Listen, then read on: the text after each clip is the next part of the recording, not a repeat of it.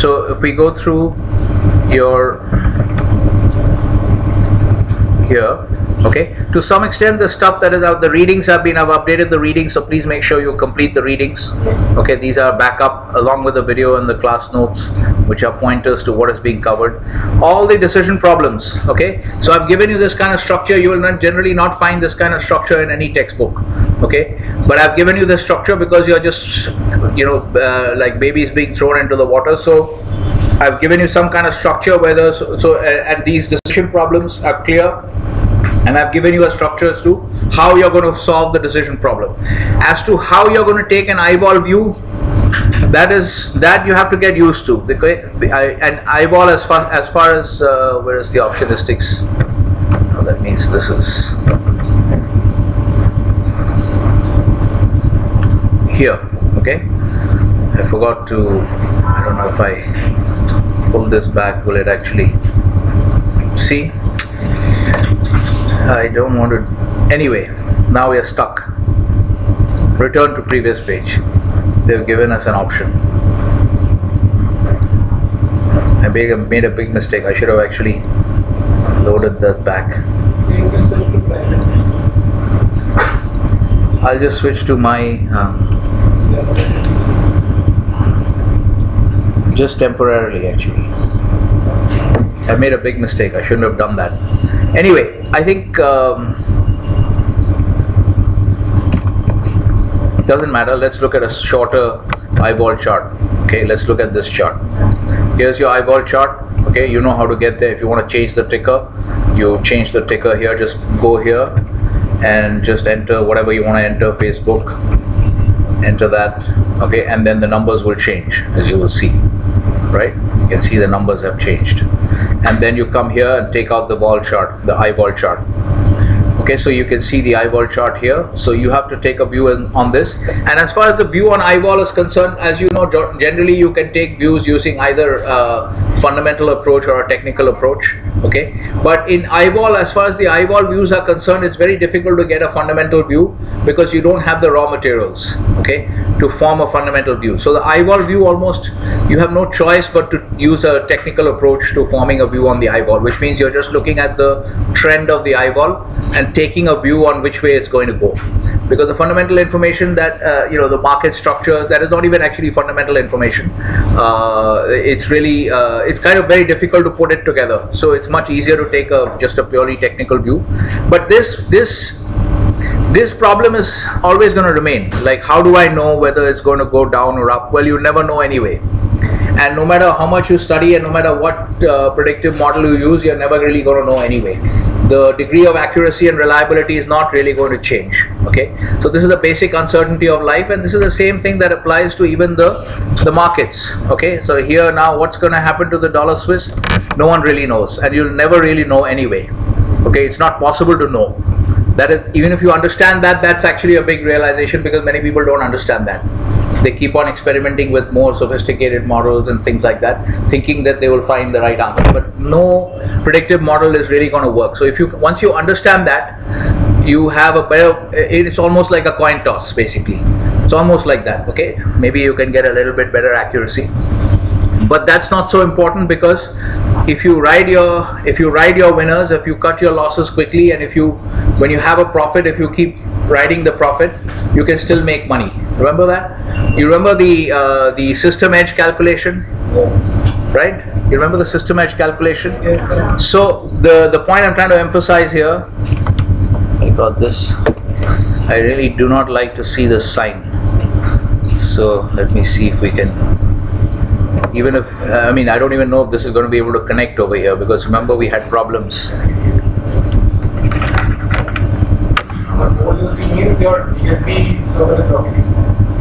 yeah yeah this is uh, so far this is the firewall that they've come up with I don't know why this optionistic site is blocked actually they have come up with categories you know strange categories so even news sites are blocked so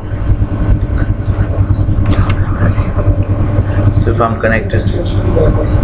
Sorry, I actually need. Uh, yeah, I need to tell them to. Um, you can also use a uh, Chrome extension to bypass it. Bypass the firewall.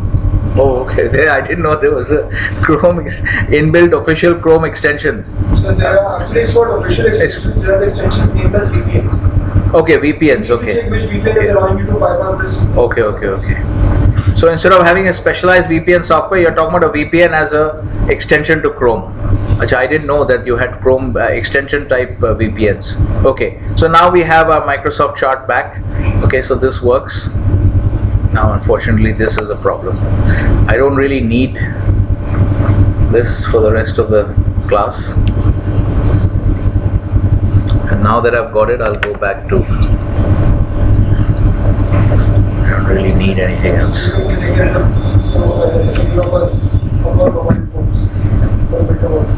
Hmm. No, this is okay so far. Let's see if it causes a problem. Then we'll we'll we'll go back to it. I have to upgrade my Jio now to, from 2 GB to 3 GB because it's uh, sometimes I have to work with it the whole day. And uh, okay, we'll get this fixed. Don't worry. Okay. So, what was I saying? We were talking a little bit about the. Let's go back to this. We drifted a little bit. We were talking about. I suddenly started talking about your predictive models. Okay. So why is that? Now I just want to give you a brief idea. I don't want to make you feel depressed that we don't want to. We never know how to. Uh, we'll never know how to. Where did I put System Edge? Um, yeah. So this is in the previous. Yeah.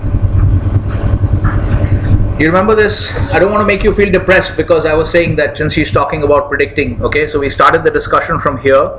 We started the discussion from here, let's say we have a longer IVol chart. Now, what I'm trying to do is to try and form a view on the IVol to figure out whether I want to be a buyer or seller of options, okay?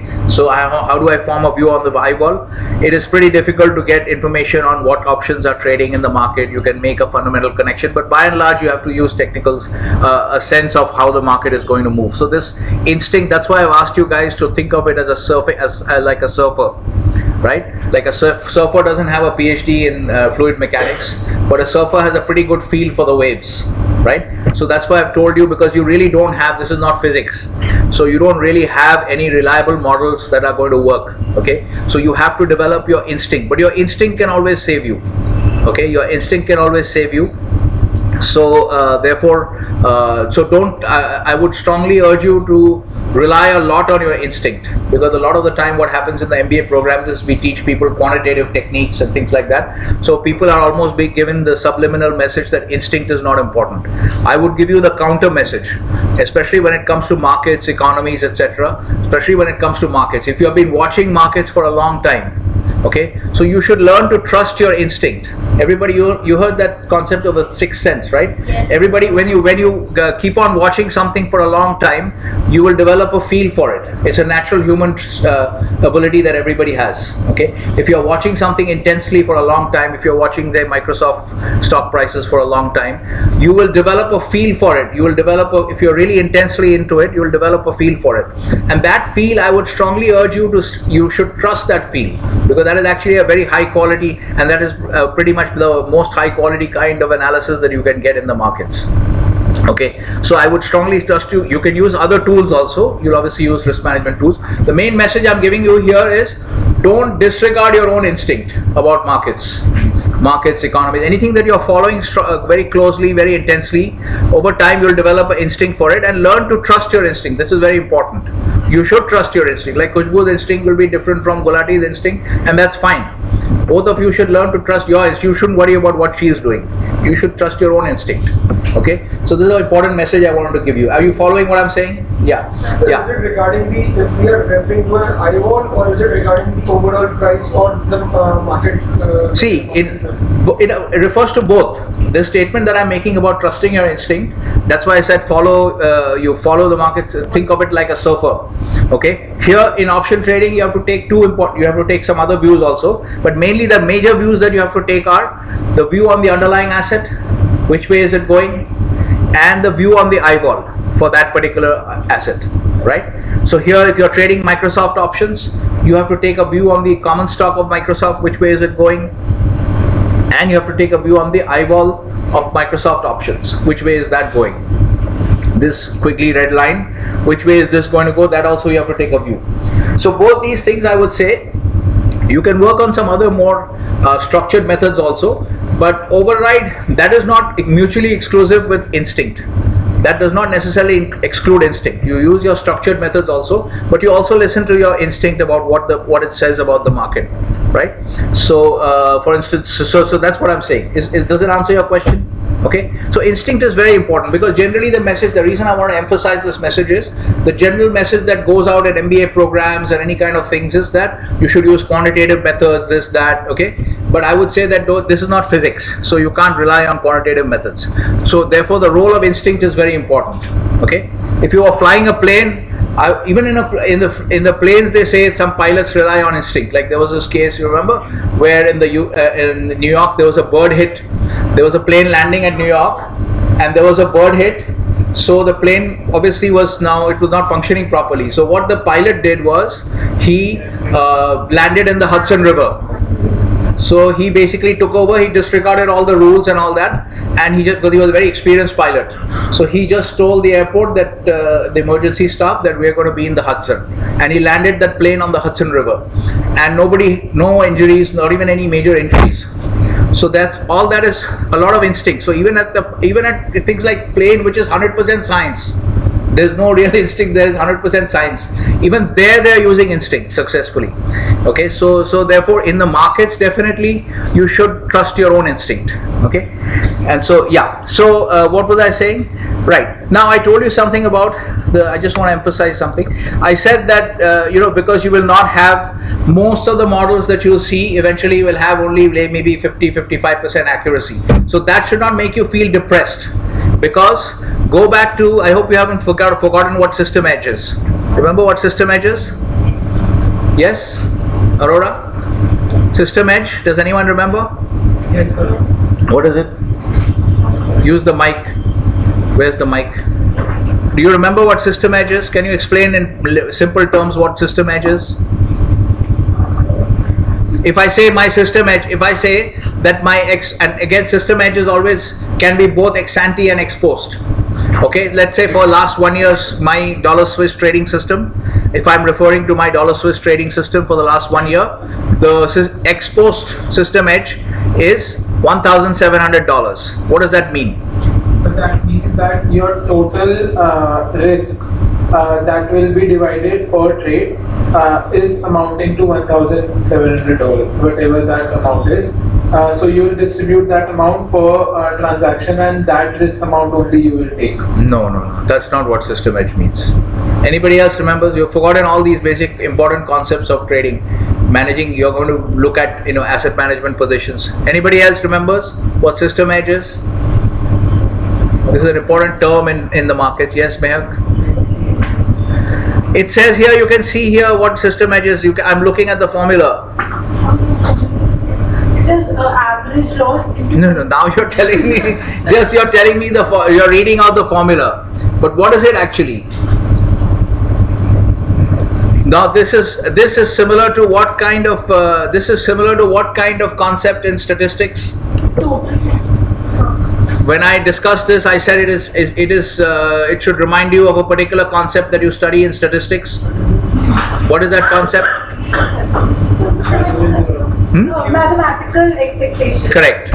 So the statistical concept that is identical to system edge, actually identical, mathematically identical to system edge, okay, is mathematical expectation. Okay, in statistics when you're taught in statistics when you're taught this concept you're taught is taught this concept as mathematical expectation. That is summation pi xi right? So here we use for pi we use the uh, percentage losses and the 1 minus percentage losses. Okay? For the probability of loss and 1 minus percentage loss is what aurora what is 1 minus percentage loss? Another way to express 1 minus percentage loss is? Percentage wins. Okay so percentage wins we don't write separately. Okay so this this model of mathematical expectation how many uh, exogenous let's do some revision? This model of mathematical of the system edge. This model model of the system edge how many exogenous variables does it have? Puneet is my question clear? here we are modeling system edge. Okay? So this model of the system edge how many exogenous variables does it have? One minute. Let Puneet answer. And what are they? Does this formula look unfamiliar to you? You want me to increase the font size? Now you're doing big data no? You want to see big data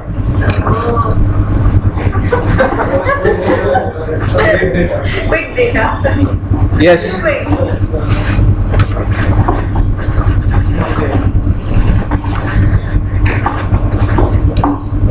Yes, Puneet. Any idea? Is my question clear? Three. And what are they? loss, Hmm? loss, Loss. Okay. Then?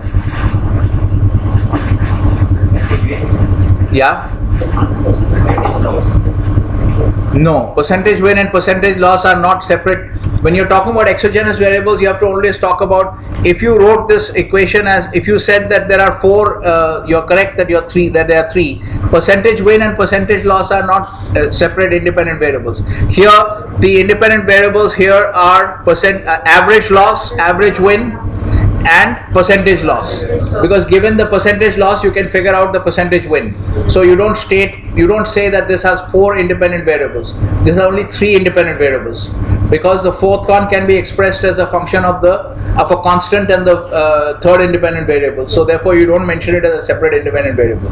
Okay? So this has three independent variables. So just we are doing some revision on your basic model theory and all that right so the reason you should not feel depressed. So what was I saying? I was saying that you have to trust your instinct, uh, and by and large, no matter what you do in terms of highly sophisticated predictive models, uh, mathematical models, they will still be they're still susceptible to having a very high error rate.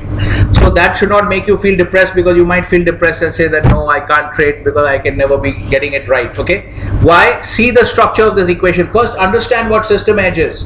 What Tarun said about system edge is not correct. The mathematical treatment is correct. System edge is the mathematical expectation of your trading system. Okay, system edge is the mathematical expectation of the trading system. And what is mathematical expectation in terms of? It's a weighted average. When I taught you mathematical expectation when we revised it, did I say that it's a it's a probability weighted average outcome? Yes, yes, sir. okay it's just a weighted average where it's a instead of just giving a simple average weighted out average uh, simple uh, outcome average outcome you're weighting it by the probabilities okay? So system edge is basically the average profit of your trade of your system okay? So in this system if i say that my system has uh, if we go back here okay? We go back to your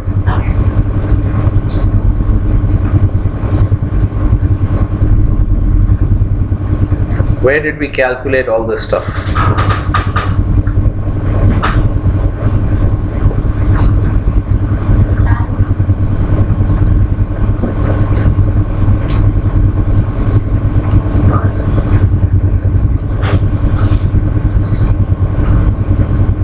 There is hmm?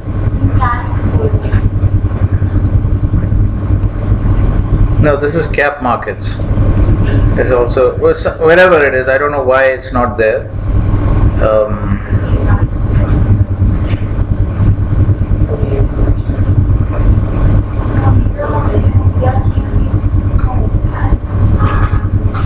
folder is not here. now this is your calc folder No. here it must be here no not even here not here. The one for IPM is not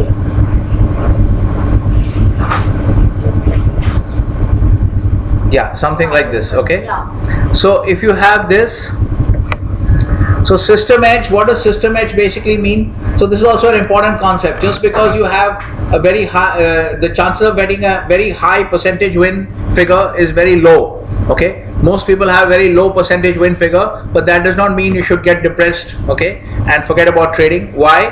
Because look at this structure. So first understand what system edge is. Okay, system edge is the average profit of your system. Okay, this 75,000. Okay, now what is the uh, gross profit? Look at the gross profit of the system. This is very important, which is now we are talking about this here.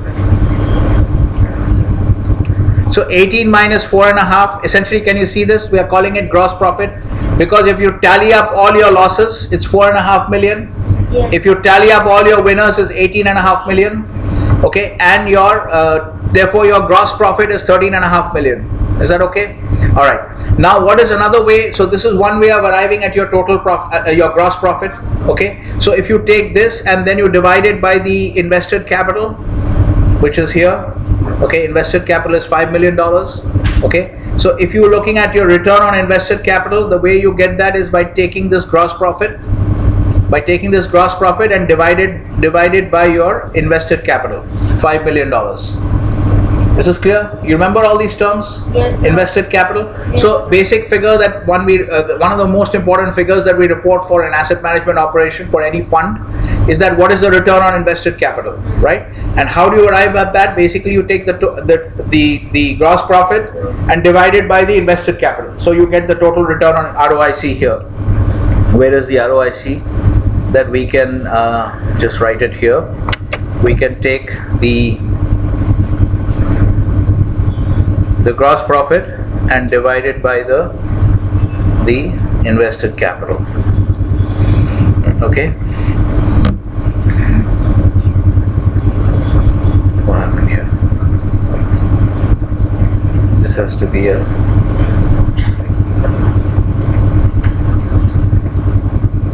is this clear Yes. because on an invested capital of $5 million, you have made a profit of $13.5 million. So your return on invested capital is 270%. Is this is clear? Yes. Okay, so that is the importance of that figure. Now, where does system edge come in?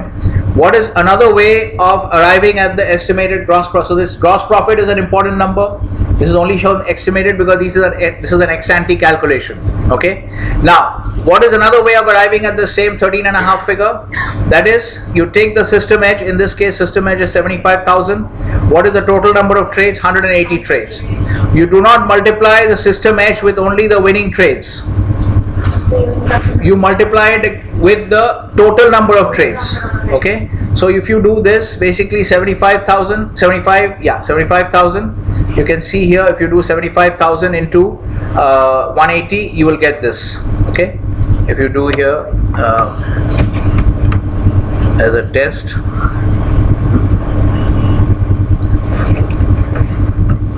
you'll get the same 13 and a half million. Is this clear? Okay?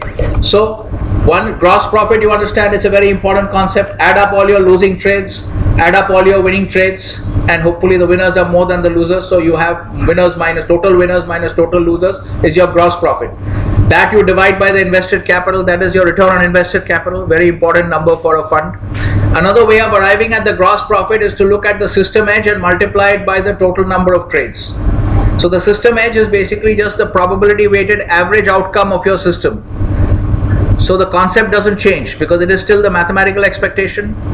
So when we say that mathematical expectation is nothing but a probability weighted average outcome, okay, but it's a probability, it's a weighted average where the weights are the probabilities. So similarly, this is a mathematical expectation of your trading system. So the probability weighted average outcome of your system is seven thousand five hundred dollars. Or what is it? 75 $75000 if you multiply that by the total number of trades you have done you get another way of getting at the gross profit. Yes clear? Okay so now this is why I just wanted to bring refresh. As you can see you guys have lost a lot of this so, so these concepts should have been already internalized totally okay? These are important calculations in running uh, in running a fund which uh, and and you will not find these in any textbook. So you it's better you internalize all this stuff here okay? So now now why why did I discuss system edge because I wanted to make sure that you don't get depressed just because the hit rate of most systems is quite low.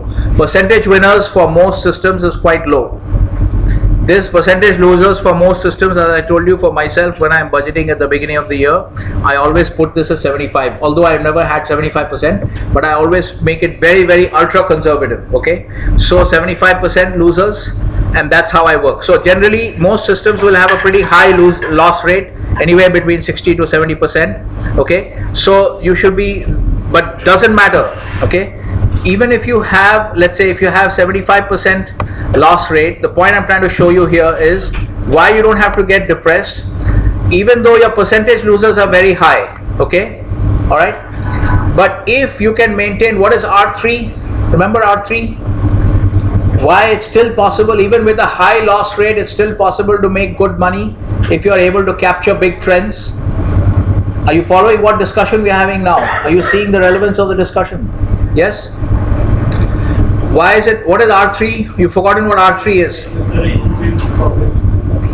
Yeah, so R3 is, can you be more specific? Ratio between profit and loss is fine, it's a layman's answer.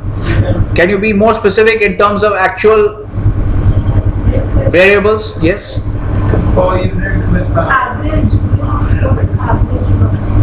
Average win by average loss. That's the answer I was looking for. Okay, so R3 basically is average win by average loss. Maybe see, let's see if we have an answer here. Target R3 here, that's the input figure that we have. But essentially, here we can just go back to this system. In this system, what is our average loss? Average loss is here, okay, 41.667. So our R3 is, and what is the average win? $250,000, okay? and average loss is 41 so R3 actually for this system is we can even increase this a little bit and see it's exactly 6 okay? So there was one question for you on the end, in terms where the R3 was required to be derived it was came out to be 13.5 or something like that okay? But that's not important but the main thing is that to do these calculations your concepts about all these things should have been very clear okay? So that question only I think Sakshi Jain and Tarun got right I think. Or maybe Sushi also got it right I'm not sure. But uh, that question very few people got right although it had been done in the class. But you have to internalize these concepts so that you are e- totally uh, clear about all these things. This is not so complicated. It's not like I'm teaching you nuclear physics or something like that. It's just something new. So obviously if I'm teaching you something new you have to study it properly then you have to revise it through three times and only then does it get internalized. It's nothing so complicated. It's a quite simple calculation. I'm sure you do these calculations anyway in your daily life similar calculations. But you have to be clear about what we are doing because are, these are all important concepts which are, there are concepts also involved. Like you have to know what system edge is right? So now you see the R3 of this system is 6 okay? So if you get even if you give the system 75% loss rate okay the point i'm trying to illustrate is that you can still have your total profit of the system will be high if your system edge is good if you have a high system edge if you have a high system edge figure that means even then uh, even with a high loss rate if you have a high system edge figure then you still make a decent amount of money. Is that clear? Because your total gross profit is system edge into number of trades. Yes or no? Total gross profit is system edge into number of trades, right? So if you do a reasonable number of trades and you have a high system edge, you'll still make a decent amount of money. The point I'm trying to show you here that system edge can be high even if percentage loss is low as long as the percentage average win essentially r3 another way of saying r3 is basically relationship between average win and average loss. Okay if you have a high r3 which means basically on average if your average win is much bigger than your average loss okay then you will still make money even if you can still make money if even if your percentage losers are low uh, percentage losers are very high. Are you following yes? So in this spreadsheet if you go back to the spreadsheet what we are showing is percentage losers is very high 75% you have 180 trades but because the uh, what is the average system edge you can see now has dropped. Earlier we were looking at $75,000 now it has dropped to $31,000 but still the point is when the point I'm trying to illustrate here is that typically a layman when he sees a system with a very high uh, loss rate 75%. you notice have you noticed this when you're looking at charting websites there are ads coming up internet ads they are trying to sell you systems uh, uh, others is falling asleep we have to do some rajasthani puppet style some activity on him come let's have some movement come here come and sit here what happened you're leaving my grandmother is serious. okay okay Just fine. got to go. okay okay all right okay come here so that you not fall asleep. You get some movement okay. All right okay so uh, where were we now? So you can see here that the loss rate is very high okay 75% loss rate but still we have a positive system edge. Do you see that? The, oh, the point I was trying to where, where I uh, got lost was most people when they look at a high loss rate system with a high loss rate, they'll think this is a bad system. Not necessarily so. You have to really look at the system edge. One of the important things you have to look at the system edge. Okay, and uh, you'll notice that what I'm saying is when you go to these kind of websites, right, like this, you're using a market website, they'll give you some ads, and you'll see very often people are selling ads on, uh, you know, like here you see some ads sometimes. Okay, you'll see that people are selling um, uh, systems. They are selling trading systems with a very high win percentage. You should be able to detect this for yourself so that you're not fooled like ordinary people. Normally what happens is when system people are selling trading systems because they want you to buy the stuff obviously they are going to make you believe that it's good by showing you that it has a very 80% accuracy if you see most of the time when people discuss trading systems, they say, "Oh, your system 80% accuracy, great system." That doesn't really mean necessarily you know guarantee anything because if you are have a uh, it, the R3 is also important, the relationship between average win and average loss. Okay, which is basically so that the point I'm trying to illustrate is that are you following? Did you get what I said? So if your average one in relation average win in relation to average loss is very high, even with a high percentage loss you can have a high system edge okay? Which is what you see here. Because the R3 is 6 okay? The R3 is 6 which is average win by average loss okay? Because the R3 is 6 therefore even though the uh, percentage losses is very high the system edge is still a decent system edge and you're still making 113% on your risk capital on your invested capital this is clear. Normally when the point i'm trying to illustrate is that the average person who does not have this understanding of r3 and system edge will look at a 75% uh, losing loss rate system and say oh it's such a bad system. But that doesn't that is not a correct assessment. That is not the right way to assess the system. That's what i'm saying. Similarly a system that has a high that has a low loss rate doesn't necessarily mean that it's a good system. Okay so that's what I was saying. It's a long discussion, but it's important to have the discussion because I started out by saying that you have to trust your instinct. Most uh, quantitative predictive, mathematical predictive models will not have a high uh, uh, win rate. Okay, forecast accuracy will not be high. That's why you have risk management, which is very important. Risk management becomes very important, and part of the risk management and the return management also is managing this. Okay, and where does this dynamic come from between the average? Where does this six number come from? Where does this six number come from? Remember bracket orders? Let's do a quick recap of, of basic uh, trading mechanics. Suppose I'm going long dollar Swiss over here. Okay. Let's say we make this uh, even bigger. Let's make it a bigger view. What happened? So it's a very slow PC now suddenly.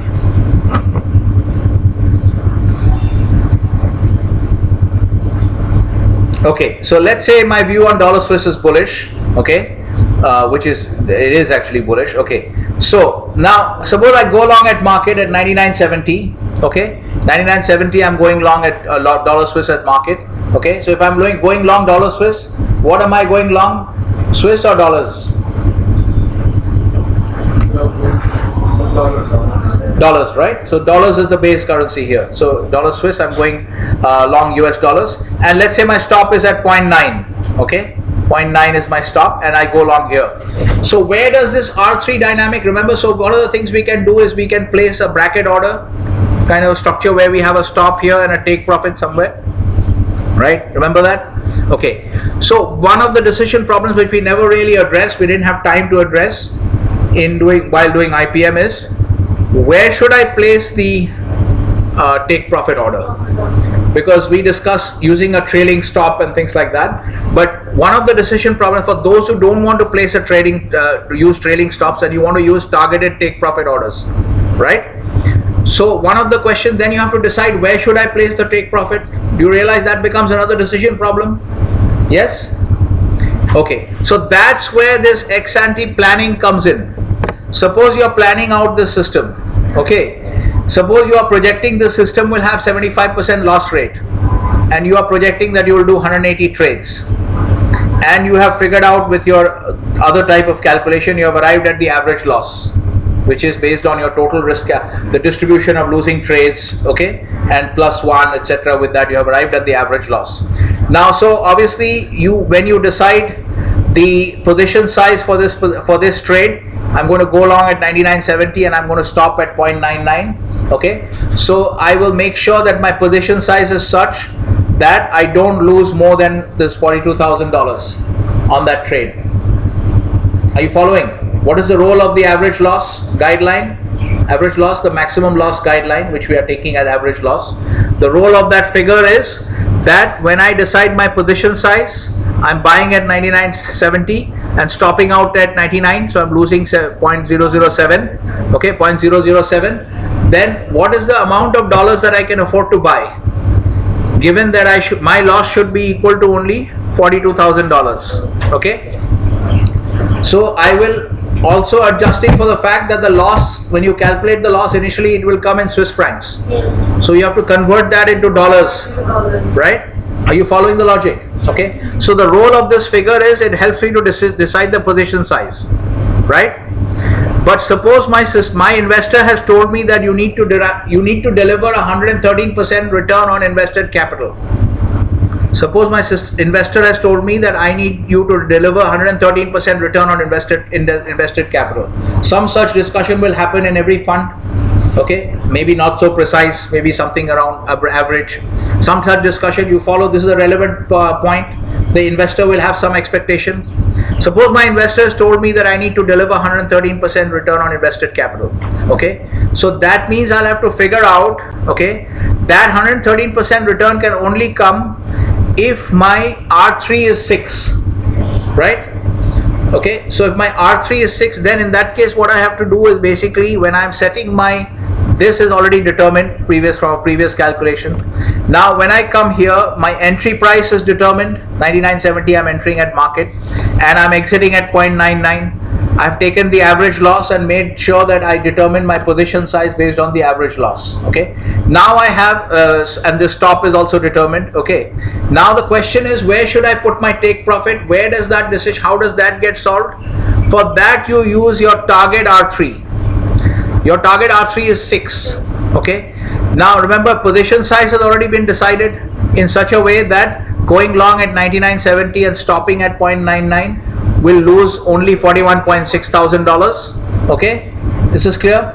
Now the take profit you decide in such a way that given that your entry is at uh, 99.70 the take profit whatever be the take profit x okay you will set that take profit in such a way that the distance between this 99.70 and this take profit let's say it's 10 104 let's say okay? So you will calculate how much swiss franc profit you make if you exit at 104 let's say are you following? Okay how much swiss franc profit do you make if you exit if you enter at 99.70 and exit at 1.04 104 means 1.04 okay we can't even see it here. Okay if we enter at exit at 1.04 take profit. Then you calculate the swiss franc profit then divide it by that 1.04 1.04. that will come to a dollar figure. Yes. that dollar figure should be six times the 41.667 because that's your average loss. 41.61667 is your average loss. And you have dis- you have calculated that in order to deliver 113% return on invested capital you need to have a R3 of 6 so if your average loss is 41.66 that means your average profit has to be 6 times this which means this okay? So that's why now this is why this is how the r3 helps you to determine. We had never really discussed this pro- decision problem uh, the solution to, to this decision problem before. So in a way it's a new thing we are discussing today. Are you following what what we have just discussed? That for those who are not willing to use trailing stops those who want to separately solve the decision problem of exit at profit. You remember exit at profit? Yes. that is one decision problem. Where should I exit at profit? Should I be happy with $80,000 profit? Okay, what this system is telling you, what these calculations are telling you, you followed now how the TP level is to be decided. If you do at 104 and you find that the R6, R3 is coming to only 5, that means 1.04 is not high enough. You have to go higher. Are you following?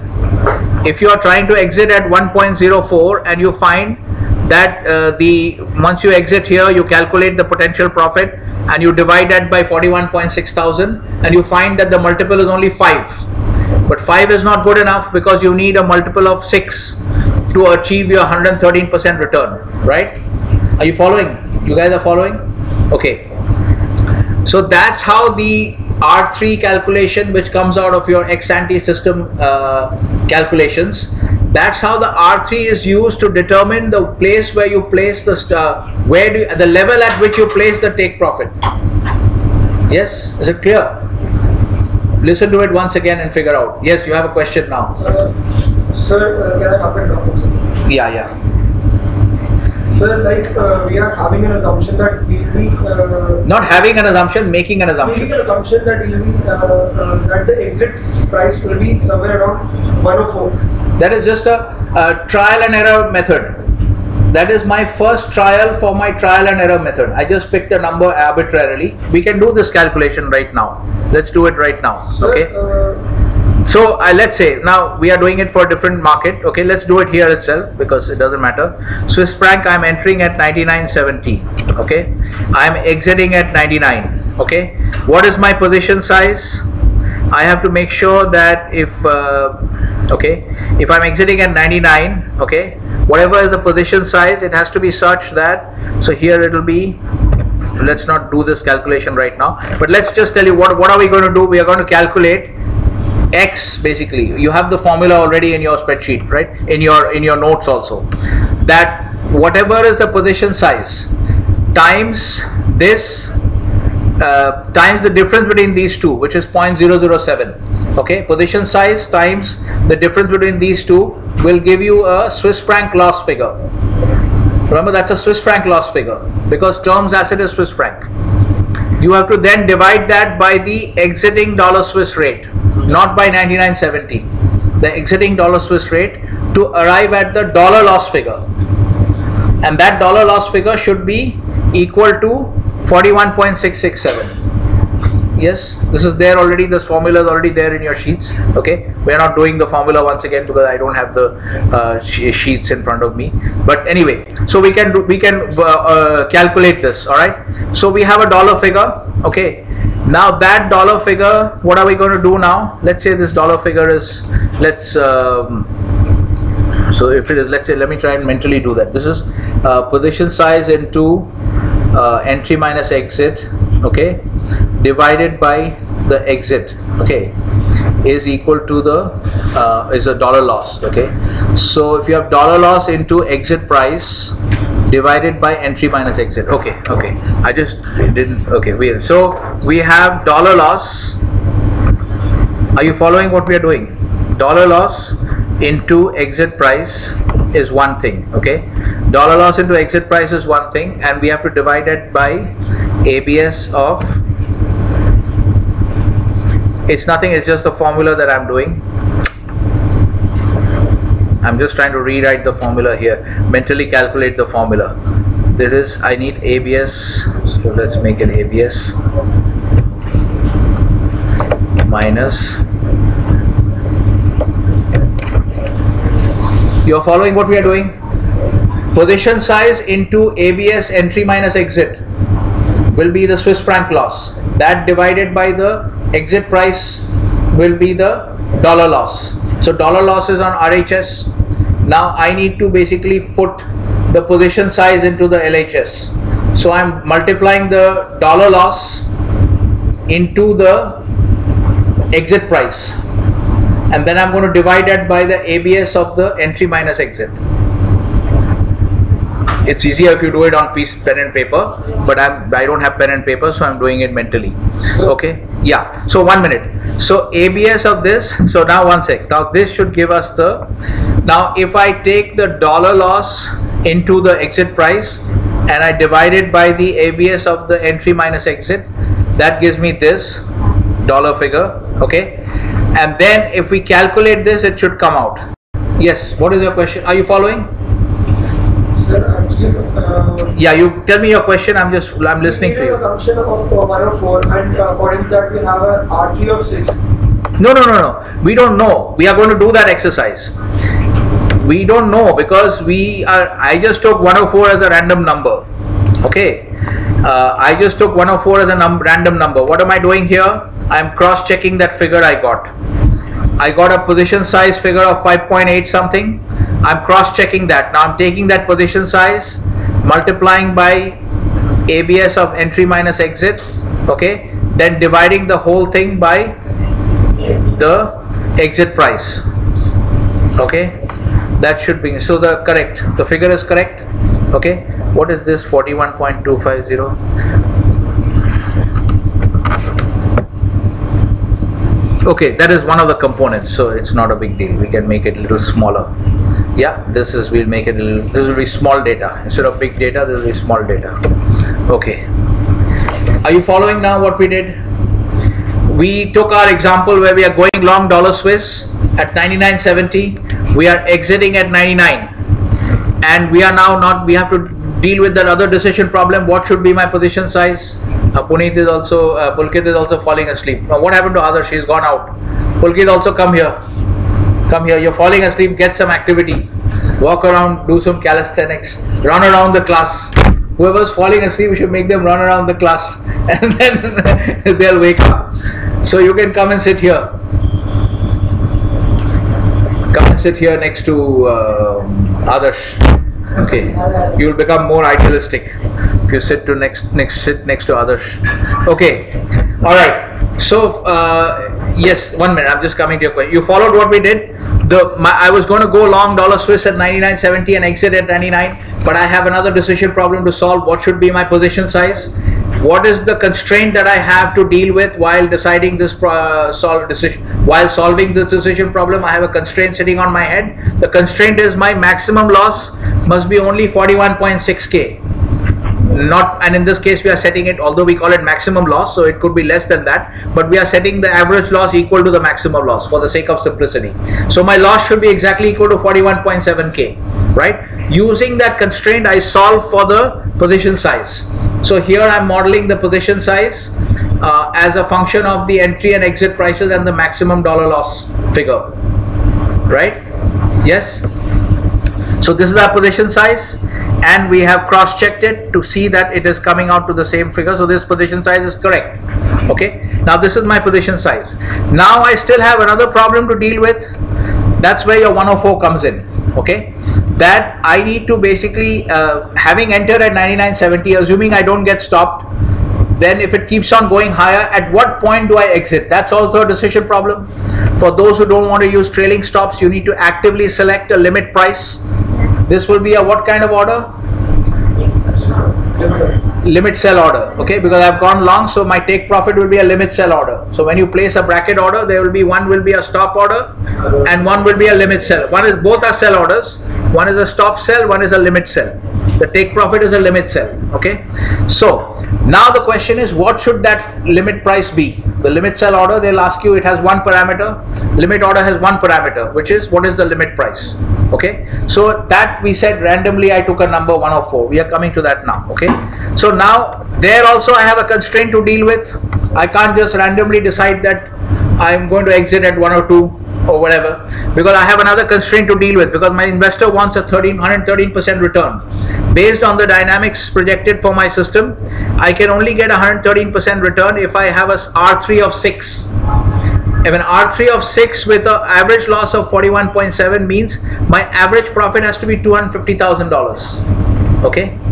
Right so now what I have is as I have another equation to set up which we can now actually set up. We will we have never done it before which is we have to are you following the problem?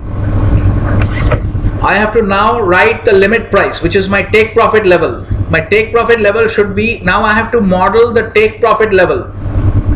As a function of my entry price my target profit which is this. My target profit is also mechanically derived from the average loss and the target R3 yes? Where does this 250,000 come from come from? It is 41.7 into 6 average win is coming given that my R3 needs to be 6 okay? So therefore given that my average loss is 41.7 my average win has to be 250k okay? You can check it once again that if you do um, 6 into average loss you will get 250k is this clear? Okay. So now what I have to do is now I have another problem. So what do I have to do in layman's terms? In plain English you see how we move from plain English to a mathematical model okay? So in plain English what is my problem? I need to figure out what is that level 101 102 103 105 what? What is that level at which I will achieve a R3 of 6 which is another way of saying that I need to achieve a total profit of 250,000 okay? So now I have to model then that level that I'm looking for that is actually the limit price level for my sell limit order which is my take profit order. That price that I'm looking for. So now I have to monitor now I have to model the limit price level as a function of the uh, position size the entry price and the target take pro- targeted profit targeted absolute profit on the trade. This is clear? Okay. Are you following? We are not following clearly i think. Maybe puneet also should come next to we have separated him from his buddy you know. So now his brain is not working. Half his brain is working. Yes. Okay yeah what is your question are you following the structuring of the problem Yes, yeah sir. Hmm. Except the question, uh, sorry. yeah i i delayed your question sorry yeah go ahead Except the uh, profit amount uh, told uh, or uh, requested by uh, investor, everything is done on assumption basis. Like Yeah, see, in this, what I'm saying is this is an ex ante analysis. That's why I said when you talk about things like system edge, percentage losers, there is a ex ante and there is a ex post. Because see, when you are trading in the when you are going forward and trading, when you do these, you have to do these calculations at the beginning of your trading period. Because otherwise, how will you know what is the average amount you should be risking on a trade? So there is an ex ante planning that has to be done. Planning obviously always is ex ante. Okay. So the ex ante analysis has to be done. Now after the period is over, you can also do a ex post analysis. You should actually and compare that I was budgeting for a average loss rate of 75%. What was my actual realized average loss rate? Maybe the, over the last one year, I have only had a loss rate of 61, uh, 61%. But the, although I had budgeted for 75%, that's okay. But the reverse is not okay. Should not budget for 61% loss rate and then have 75% loss rate. That's why you want to budget very conservatively with a high loss rate so that your loss rate is always less than your budgeted. Okay? Profit should be more than budgeted. Okay?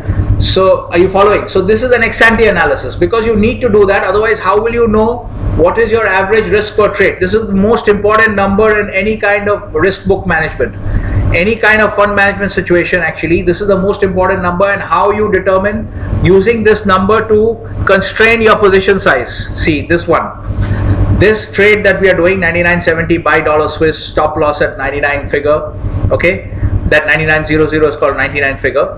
That the fact that the position size here can't be more than 5.8 million and it's coming out of this number okay? This is the most important aspect of your risk management making sure that your position size is controlled to make sure that average loss numbers are not broken.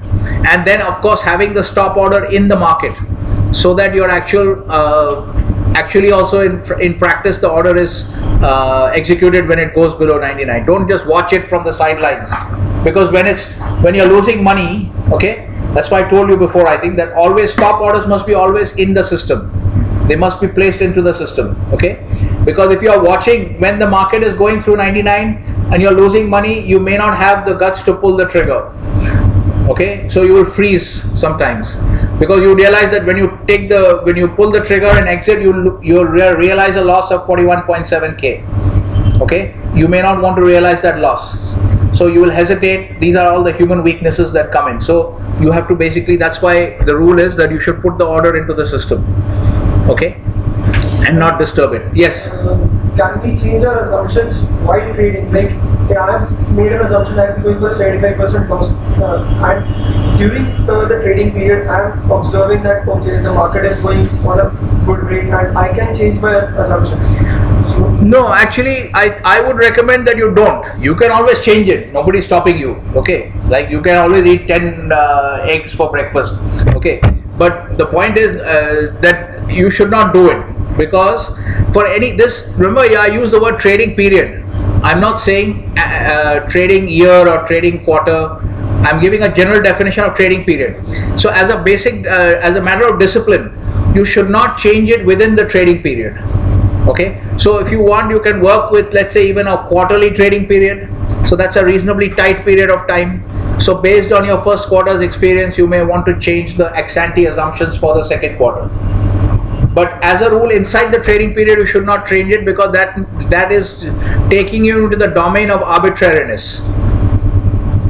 This is just like when we say that the students cannot come out before, uh, come in must enter the hall before 15 minutes but then pulkit comes uh, with uh, only 13 minutes to go but we say okay pulkit fine come come this is arbitrariness okay? It's because we already declared. Now if we want to change that rule we can change it rule we can change the rule in the next semester okay? So as a basic system you should never change your rules within the system within the period for which the rules were designed. Okay are you guys following the discussion so far? Yes?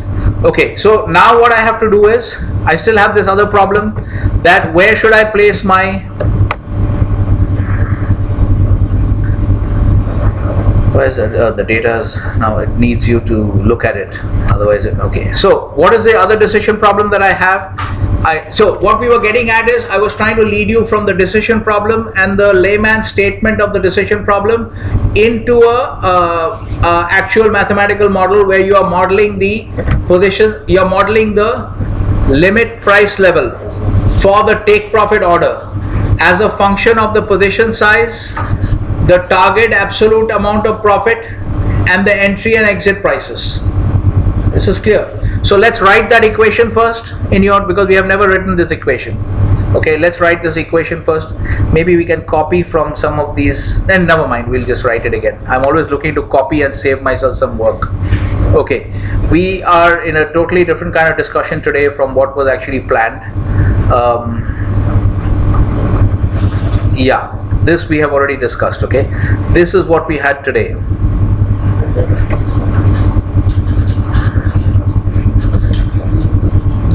okay today is 1410 okay so we are having a lot of discussions about uh, um, high loss rate of predictive models see what is the message we gave still okay if R3 is high.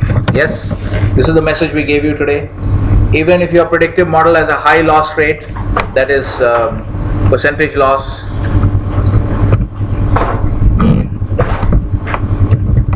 percentage losers, okay, still okay if the R3 is high. Yes, okay.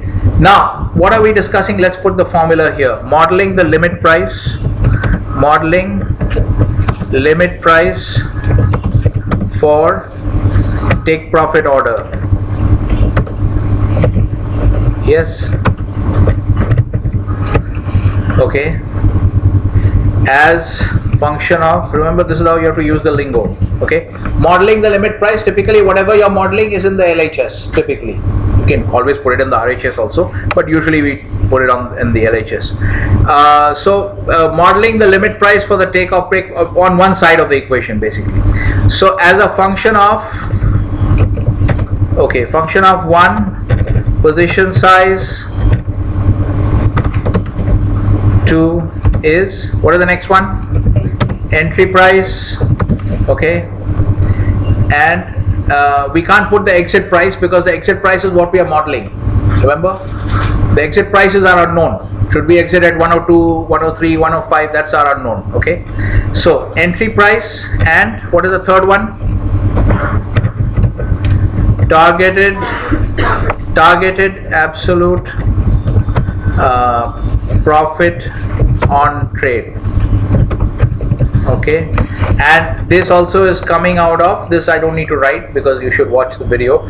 Targeted absolute profit on trade in turn is derived from average loss times targeted R3 that 250,000 that we need to make on the on this trade as profit is coming out of the 6 of R the R3 is equal to 6 and the average loss is equal to 41.7 okay? So this stuff is in your notes. I'm writing it in your notes. So you don't need to write this. You need to understand it follow what we are doing. How we are going from an actual decision problem you can identify with the decision problem. Yes? You can see the decision problem that since you have gone long and you're not getting stopped but the market keeps on rising at what point do you take your profits? That's a decision problem. That should not be take decided arbitrarily. That is also to be decided in a structured manner as to be consistent with the rest of your system okay? So therefore you have to now model the exit price the limit price on the take profit order as a function of your position size entry price targeted absolute profit on trade. What should happen? How should we write it? Okay let's write it this way. Your this is the let's write it as exp exit price. This exit price is going to become our uh, limit price uh, the the parameter for the limit order okay? The limit price for at which we will sell. The exit price what happened? You've gone back to your own place. Huh? okay. All right so the exit price. Now the exit price is equal to okay let's let's like first we should, we should write one thing. Let's write the um, okay let's just instead of writing abs profit let's just write profit. What is the profit? Profit is equal to position okay into um, ENP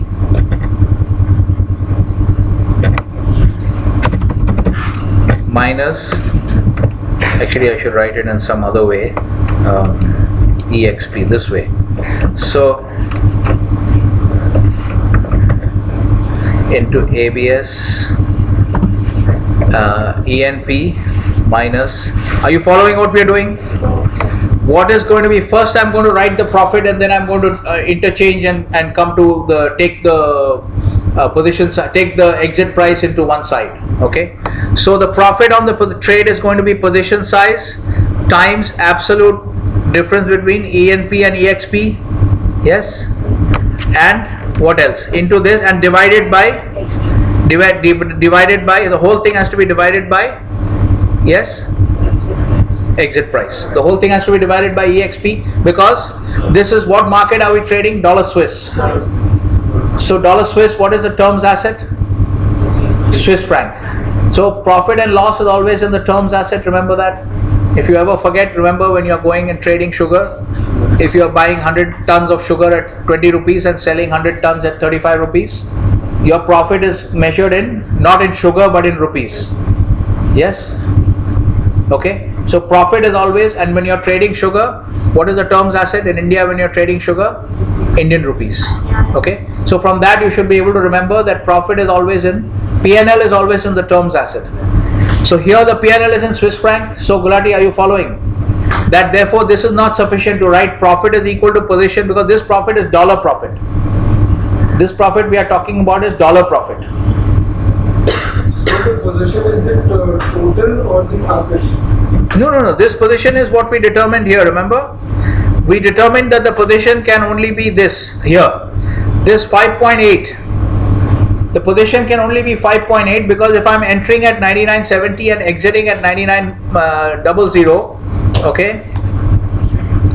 If these are my entry and exits, and I don't want, and my loss should be exactly equal to 14 41.7, then that is only possible if my position size is 5.8 so that's the position I'm dealing with now because that's what I've entered. Now the market has started to move in my favor. At what price should I exit to be consistent with the rest of my system? Okay. So um, therefore now it started to go up. Where should I exit? i'm therefore I'm modeling. I don't know the answer to that. I need to derive a structured answer to that. So I have to model the uh, limit price for the take profit order as a function of the position size, the entry price, and the targeted dollar profit on the trade. Okay, and the targeted dollar profit on the trade is coming from the uh, required R3 times the average loss. That $250,000 target that we have for this trade, profit target for this trade, that is a function that is coming from 6 times 41.7k, which is our average loss. Because the target, required R3 is 6. Are you following? Okay, so this is the dollar profit per trade because our risk capital is in dollars. Okay, now if it is risk capital is in euros, then you replace this with euros. Yes. Sir, like you just said that it's uh, some difficult for us to put a limit order. So can't we use a bracket order, first limiting it and getting a No, no, no. Bracket order you can use. Typically in TWS, bracket orders they take only with limit price entries. Okay. So let's say that the market was at one when you entered a limit order at 99.70. You would have entered a limit buy order at 99.70 when the market was at one. And along with that limit buy order, you would have also entered a bracket order so that as soon as the limit order got filled to enter, the two bracket orders would be live. One would be the sell stop at 99.00 and one would be the take profit limit sell order at whatever price you set it at 102, 103, 105, whatever. That limit price order is what we are trying to figure out because we don't know what it is. Because it can't be decided arbitrarily, it has to be decided as to be consistent with the rest of your system to meet your system goals. Okay, because remember, your investor wants a 113% return. That requires you to have a 6 6 R3 of 6. So which means on average your profit your profitable trade should return $250,000 on average. So which means on this trade also you have to shoot for $250,000 profit. Now what is the limit price order? What is the price level at which if you exit that you will earn $250,000? That's what we are trying to find out, right? So we have to model it. We don't know it. We are modeling. So first for that we are writing it this way, but this is not complete. What else do we need? Divided by Divided by the exit price divided by the exit price okay so now we have a dollar this gives us the dollar profit okay now what we have to do is we have to take this exit price out on one side okay? So what do we do here? We take uh, this is divided by this okay let's take the exit price to one side. We can write this as of course this is easier to do on the board okay? We can write this in the next aurora are you following? Yes? Okay. So the exit price goes to the uh, it will be 1 by exit price no? No is it divided by exit price? So the exit price goes to the left? Yes hmm? no uh, yeah into profit we'll straight away bring the profit down okay? Uh, and then we will take 1 1 by profit okay? We'll take the profit down is this so? Am I doing it correctly? Please tell me if I'm wrong also because this is a very odd way to do equations. Writing it on the Google Docs. Actually, just switch the position with uh, Huh. price and profit rather than writing it by the It's okay. We'll do, uh, we can do that. Yeah, yeah. So I'm saying that you guys can actually doing it uh, can do it better. So what are we doing? But we have to take out this exit price, no? We have to take out the exit price from here also. That's another problem, no? So we have to open this bracket. So one by profit is fine, but we have to now write this as one by profit into basically it's one by profit into this. You can remove ABS, so it's restricted. Huh, we can remove this. Yeah, okay, we can remove this. So I'm just writing it to the. That is how we should write it. Um, we'll just ignore the sign basically when it comes. Okay, so we'll remove this in now. Uh, we can write removed at Pulkit's request. We'll write it here. Okay, so now here help me with opening the brackets. Position into entry price minus position into exit price. Is that correct? Yeah, you're right. We removing in this kind of a, so basically we write this as once again we write this as stepwise because other our dear friends who are missing today they should be able to follow it because I'm not going to discuss this again. We have to move quickly. You have to revise quickly from okay. So position into position into entry price. So let's write this. Okay. All right. Position into entry price let me remove this okay we'll write it with nice third brackets uh, minus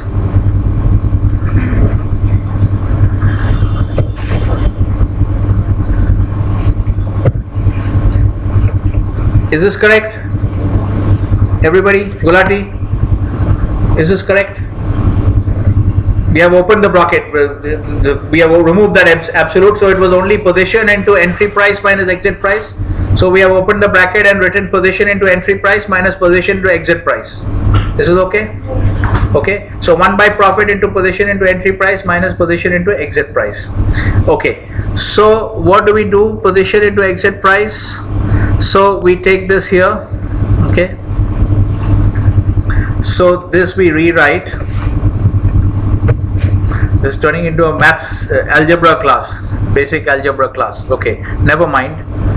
But this is what you have to do okay we are going to remove this from here. We are going to bring it here. And here also you know you have to be very careful because sometimes you can just make mistakes.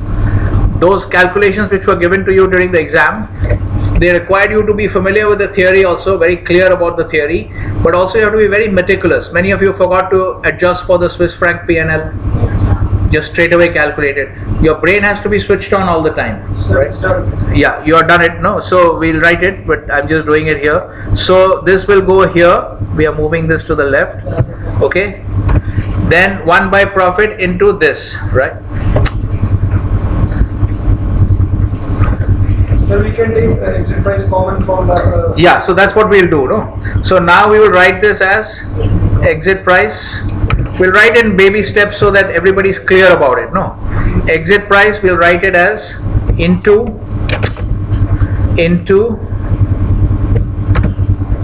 uh, One plus. yeah. We'll write it as 1 minus position. One, Uh, one plus position. sorry 1 plus position okay yeah. 1 plus position. And we will just remove this okay? So 1 plus position. Now we are okay? All right okay. So now we can rewrite this as uh, exit price and we'll take the 1 plus into we'll divide this right? So we'll take this we'll put this this bracketing is not correct actually. Um, this bracketing is not correct uh, but uh, my sequencing of the brackets is not correct. We had we have to divide it by 1 plus position am i correct? Okay. Yeah profit. So this becomes essentially that this becomes profit into position. This becomes profit into each position okay? It's a little harder for me to see because i'm doing it in this odd way. But yeah it is profit into position. So it is essentially what is the rhs position into entry price divided by profit into position. Is that correct? Okay so then we can write now so what is our exit price? We have to write it as profit into but we have to just see that the removal of the uh, absolute value does is it likely to create any kind of problem? Here the exit price is higher than the entry price. Yeah it will not create a problem. So the removal of the absolute value should not create any problem. So uh, we what is our exit price? Position into enp let's write it as position what is your position is here right? What is your enp 9970 yes? Let's keep it here. That's one. How did this become? Okay fine. And we have to divide it by uh, profit into position. No sir, position into profit. Yeah sorry 1 plus position into profit. Yeah see this is where you might yeah see this is 1 plus position into profit. So is equal to what is the uh, 1 minute 1 minute 1 minute. Yeah okay. So profit is what? Profit is $250,000 okay into 1 plus position. Position is here. Is that correct? Position this is our position 5.8 that's the position we took no.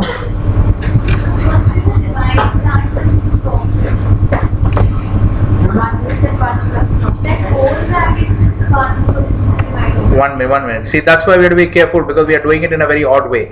So this was one one so this was one by profit into this thing okay? Then so we have to do it or actually it is better because i'm getting very confused with the by doing it here okay so one minute. Let's look at it once again.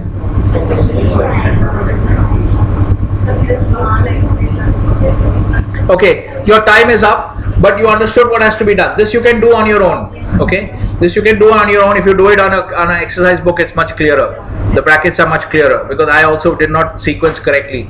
I put the second bracket uh, before the third bracket. Uh, i put the third bracket before the second bracket yeah? So i didn't put it correctly. So anyway so uh, just do it yourself but you understand this in this manner we can model the limit price. But what you can understand is that the exit price on profit is not something that has to be arbitrarily decided but it should be uh, determined in a structural manner as a to be consistent with your system. We will do a quick recap in the next class, but please make sure that those of you who were falling asleep plus those who are not here, they do a quick review. Review, okay? Because we can't repeat everything in the same class. You have to watch the video, right? Yes. What happened? Yes. No, no, we'll simplify it. Don't worry, we'll simplify it. We'll simplify it. Okay, we'll figure out the. Uh, we'll, we'll do it again in the next class. We will quickly wrap up. I won't repeat things in the next class, but we will quickly wrap up. But it didn't answer your questions. But the question that you're having, Khushbu is saying that she is not able to figure out how to trade. But that problem should not be there. Go and watch the videos once again.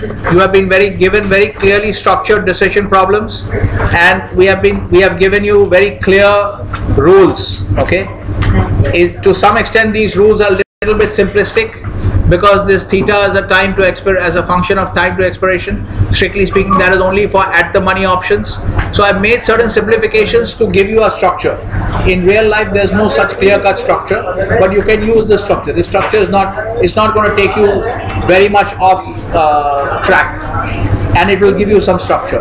So you go through the way we solve. I've given you clear cut ways to solve each of the problems. Yes. Go and revise again.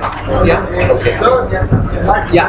theta value, that uh, all value is always having a higher, negative theta value as compared to the uh, Yeah. There is a real. Uh, there is actually a, it's coming out of the formula, but we'll check it. You can come. You can come. We'll check it again. It's coming out of the formula. Okay, it's coming out of the formula, but we'll check it again. Uh, but in fact, the formula seems. I, I'm going to check that formula once again. It's it, these are all partial derivatives. Okay, these are all partial derivatives. So from the structure of the formula, you can see that one number will be always higher or number always lower. Okay. Who has so Kriti has switched it off. You're feeling cold. No, no, that's okay. That's I'm going anyway now. Okay. So I'll I'll look at that in more detail and, and, and come back to you. Yes. The formula is really very, and it's simplified. We just have to write at the end 1 upon 1 plus position and it will be done. Okay, we'll we'll do it next time again. I'll also go and look at it because I'm also looking at it. You know, it's very difficult to do uh, thing when you. Just need to be written as 1 upon 1 plus position and it will be done. Where are you saying one upon one plus? Uh, We can write it in a way Here. 1 upon 1 plus position. Like No, because here we are one minute, one minute. We are writing 1 upon profit so we can write it as 1 upon 1 plus position Okay. into 1 upon 1 plus position and it will be done. We are dividing here by 1 plus position so which is into 1 plus yeah which is divided into 1 upon 1 plus position Yeah, so uh, no no this, then, no you are saying that instead of dividing by 1 plus position Into you will multiply by 1 upon 1 plus position. So One, it will huh? s- state that 1 upon profit is also being divided by this. okay i'll check it i'll check it when we go there it's easier to see it on the exercise book one is not used to doing uh, equations like this yes. Okay